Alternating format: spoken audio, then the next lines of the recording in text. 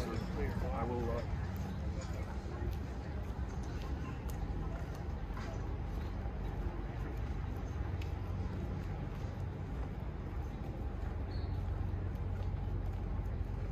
yeah, you want to do it Monday during our call?